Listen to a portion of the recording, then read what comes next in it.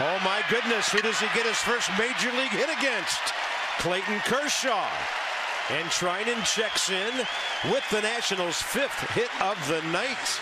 Do it all, Blake Treinen. Have a night.